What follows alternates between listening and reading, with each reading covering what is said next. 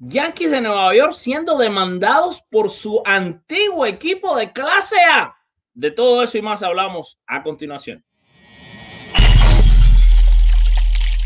¿Qué tal amigos? ¿Cómo están? Mi nombre es Alfred Álvarez, soy el director y creador de Con las Bases Llenas, esta compañía de medios de difusión que gracias a Dios y al apoyo de todos ustedes nos hemos convertido en una de las principales plataformas de béisbol de toda la Internet. Los Yankees de Nueva York están siendo demandados por su equipo de clase A o debo decir su antiguo equipo de clase A, los Yankees Staten Island. Sí, Yankees demandando a Yankees, así hay que decir, porque el equipo se llamaba también los Yankees. Este equipo de las ligas menores, los Yankees Staten Islands, la razón por la que demandan a los Yankees es basado en falsas promesas. La demanda es de 20 millones de dólares. Como ustedes saben, el pasado 7 de noviembre, los Yankees de Nueva York anunciaron que moverían su afiliación de Staten Island de clase A a Hudson Valley en Nueva York para la temporada 2021. Esto tomó por sorpresa al equipo de los Staten Island porque aparentemente este equipo de ligas menores, este equipo de clase A no había nunca escuchado nada directamente de los Yankees ni de nadie que tuviera que ver con los Yankees. Y estos afiliados evidentemente quedaron sin trabajo. Ahora, el equipo AA de los Yankees también, los Trenton Thunder, pasaron por algo similar. No los están demandando.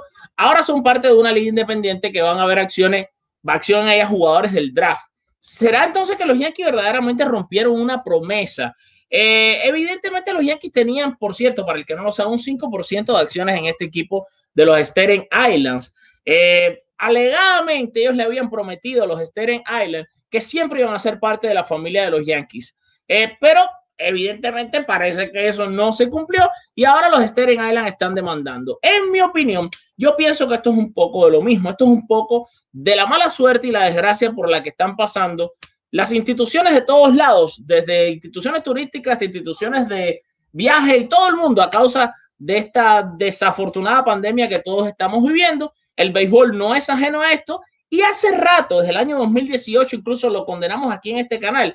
El plan de Ron Manfred siempre fue deshacerse de muchos equipos de ligas menores. Ustedes saben que Ron Manfred, evidentemente, los fanáticos están en contra de muchas de las decisiones que ha tomado. Esta una de ellas, la gente siempre ha visto con malos ojos, incluyendo a mí, las acciones que a él le ha gustado tomar contra los equipos de ligas menores. Yo creo también que es muy desafortunada la manera en la que Manfred ha manejado todo esto de las ligas menores.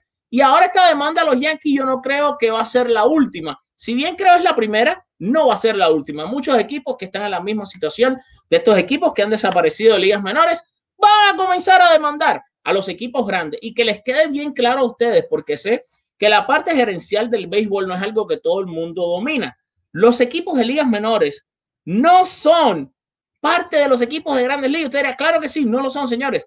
Los equipos de grandes ligas tienen un control sobre los peloteros que están en los equipos de ligas menores, pero son esos equipos de ligas menores los que pagan el salario de ese jugador en cuanto a lo que es el salario de él en las menores. Es un poco complicado de entender. Los trabajadores de ese estadio, Staten Island, los que trabajan en los lockers, toda la gente que está relacionada a Staten Island Yankees, no son parte de los Yankees de Nueva York y por eso están en todo el derecho civil y legal de demandar a los Yankees de Nueva York. ¿Será que ganan la demanda? ¿Será que aunque sea, se meten un dinerito en el bolsillo que los Yankees le den para que ya no sigan adelante con esta demanda? Esas son cosas que quedarán por ver y cosas que quedarán por analizar y que estaremos, por supuesto, aquí al tanto en nuestro canal. ¿Qué pasa, MLB? Por mi parte, yo me despido. Soy Alfred Álvarez. Recuerden dejarnos sus comentarios sobre esto que ha sucedido entre los Yankees y los Staten Island Yankees y esta demanda que le están poniendo a los bombarderos del Bronx. Quiero escuchar su opinión, quiero leer eh, los comentarios que ustedes nos den por ahí.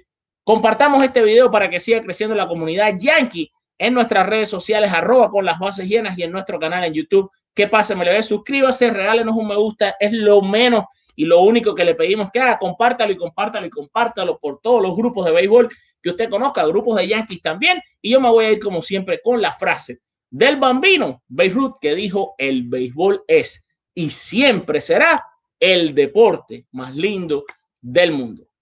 Chao, se les quiere muchísimo.